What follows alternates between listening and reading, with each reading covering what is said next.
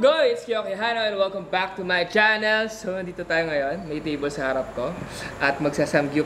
Ako mag-isa? What? Hindi pwede yun. Parang sarap ng may jowa dito. So, yung papakilala ko sa inyo yung jowa ko. Okay, matagal ko nang tinatago sa inyo to. Pero, pagbigyan niyo na ako ngayon lang tong gabi. yun guys! Papakilala ko sa inyo ang jowa for tonight. Habang kumakain lang. Ay ka nga dito, baby. Oh! Guys! One and only. Royce Cabrera in the house. Ay, Jawa ah. ko nga pala guys. Ako nga po pala si Roy. Baka Rocky, Rocky Royce, kung bahala kayo. Kayo na. Wala kayo, basta ako yan dyan. ha? may, may, may, ano, ba? may amas ka ba? Wala, wala, wala, wala. Pagpagod lang eh. Pero, Gutom ka? Oo naman, gusto nga kitang kainin. Ah, steak! Gusto kong ano eh, kumain na.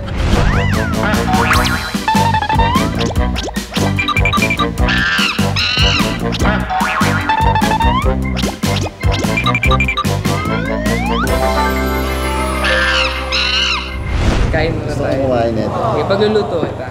Pero yun, habang kumakain kami dalawa, ayan, may magtatanong sa atin ng mga questions mula sa inyo dahil nagkita ko ng Ask Yo and by Jowa. Yan!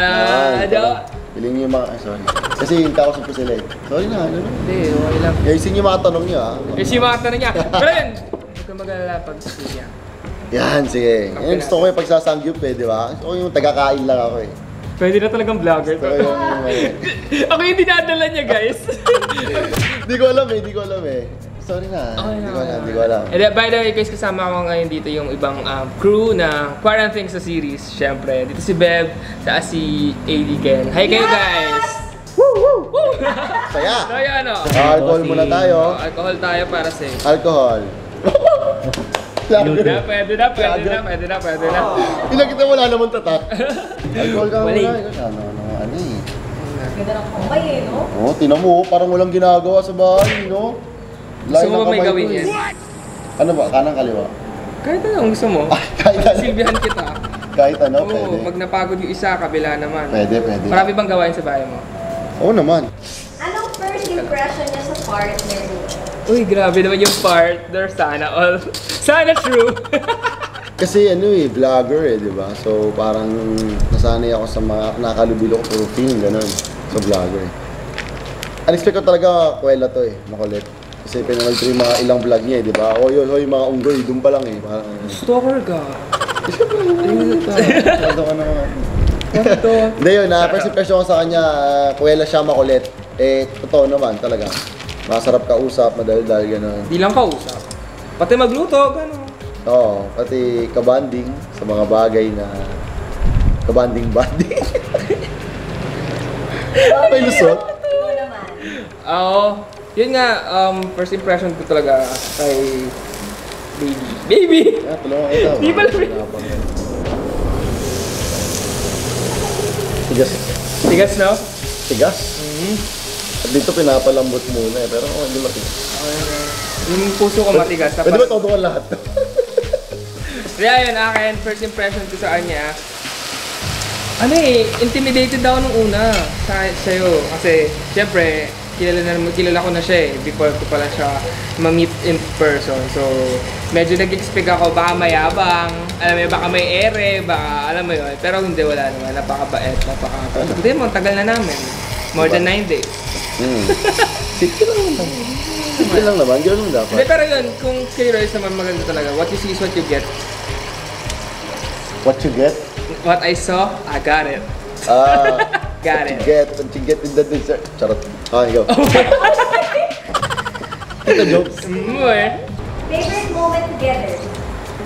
Feeling ko yung ano, yung mga moments na pag pinagpuk, pinagpapakulong nyo kami sa isang kwarto before eksena. Ginagawa natin dun.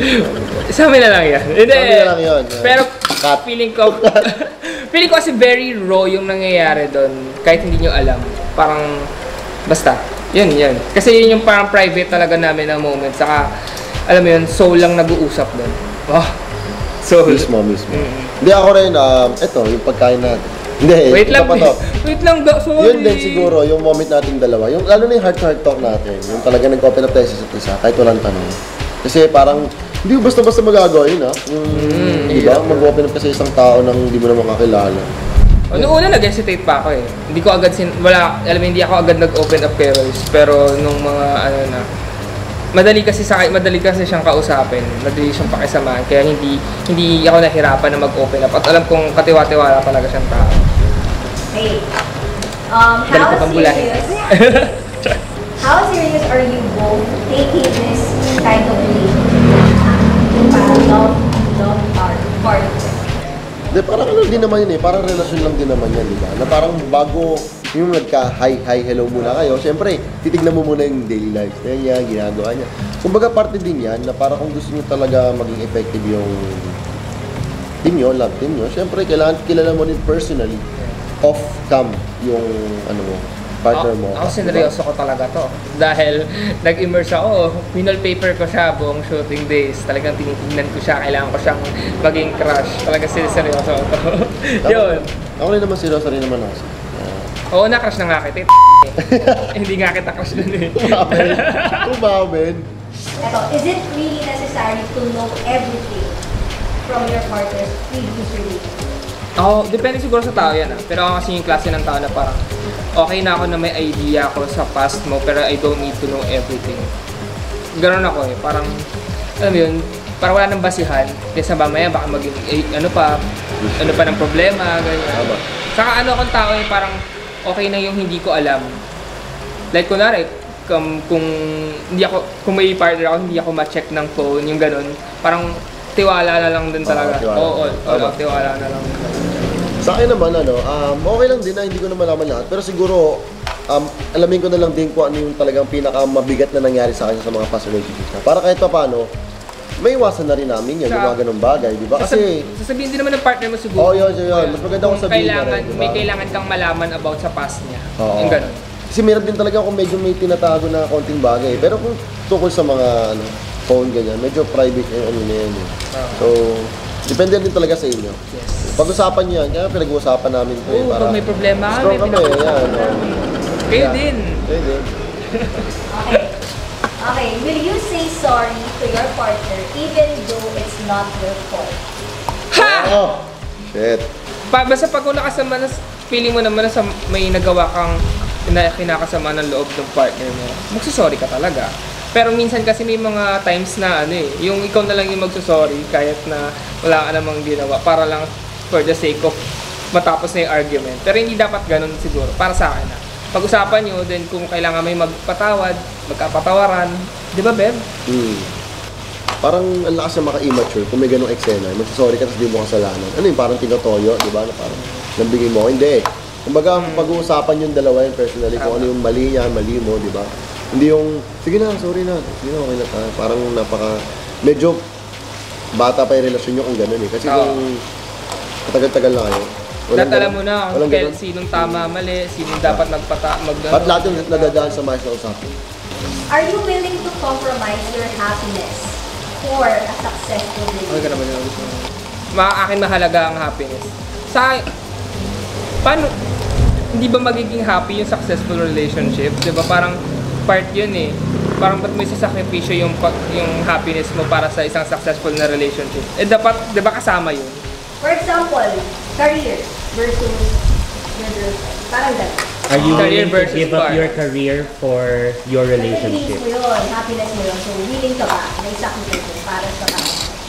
Willing ba siya na suportahan ako sa pangarap ko? Yung akin ah, yun eh. Talagang ipaglalaban ko yung pangarap ko kaysa sa partner. Kasi kung tamang partner ka, maintindihan at maintindihan mo yun eh. Kahit ano pa yung pangarap ng partner mo, susuportahan mo. Isa, ikaw susuportahan mo ba sa pangarap? Oo naman, top na eh. Ano pa pangarap ko maging samgyup? Kasi ikaw suportado kita. Lahat. Sorry ah. Sabi mo awards mo, pupunta ako doon. Hmm.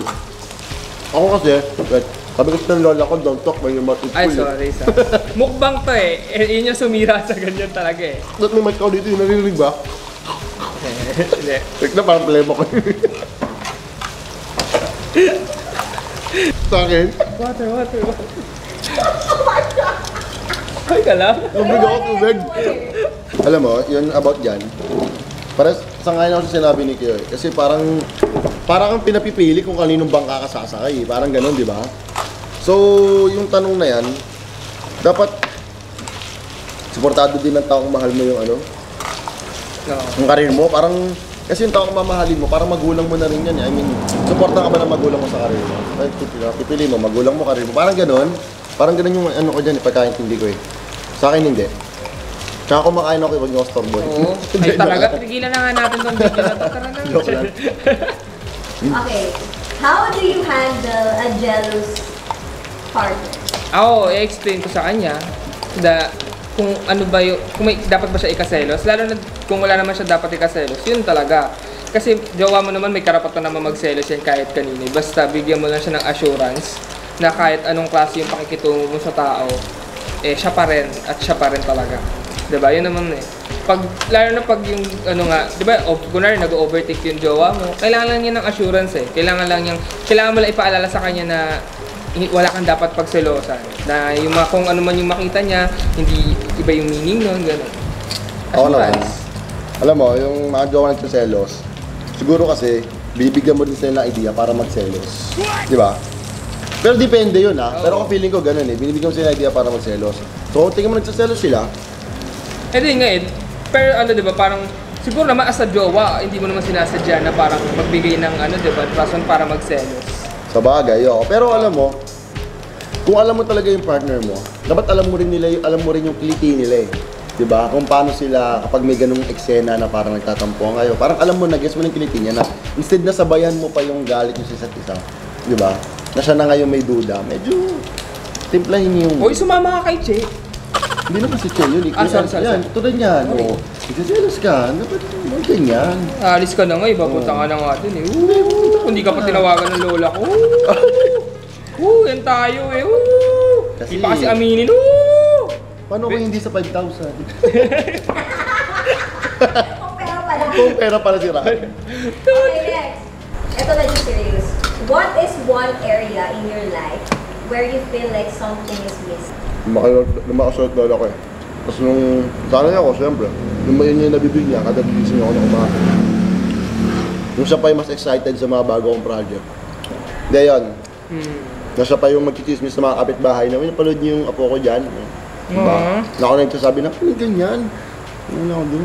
Ah, yun nga, na, yun yung na, napipili ko na minsan parang kulang sa buhay ko. Pero, well, kaya tayo magpatuloy sa buhay, eh, di ba? Laban lang. Yan.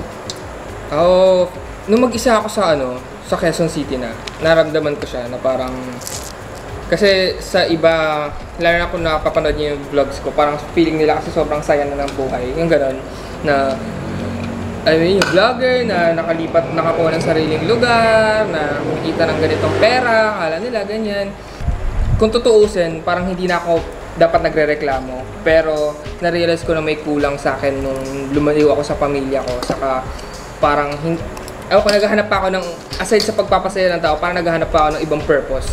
Tapos parang naramdaman ko yun nung nakakatulong ako na yung alam mo yung random na donation sa ano mga ganon sa mga nagpo-post ng mga ganyan ganyan parang na-realize ko na gusto ko din tumulong nun sa tao talaga kaya ay Yan, magtulong tayo. uh, mga kailangan ng tulong dyan, sige, bahala. wag ngayon wag, mo na ngayon next time wag wag mo na ngayon sarili ko ka di ko matulungan Gusto mo ba? Gusto mo? Gawa kita. Gusto mo dali dito? Kaya mo yan?